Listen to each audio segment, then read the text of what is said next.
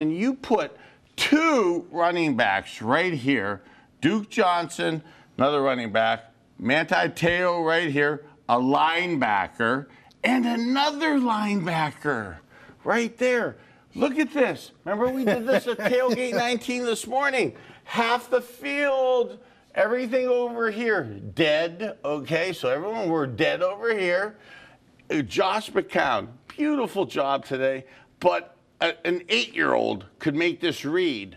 Now you have two running backs. Duke Johnson runs a 4.35 You do not cover him with one on one with a linebacker. So what the new rule is, and what teams are doing, is they do a little something out here to um, confuse this guy and keep him right here.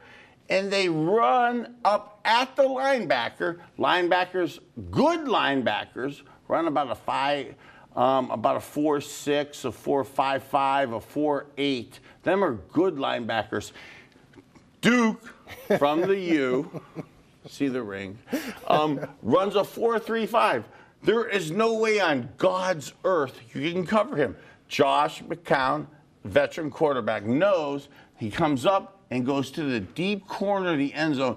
This is the easiest touchdown in the world to do. Beautiful play call. Congratulations on the scheme by the coaches. I wish they could have come up with more of this.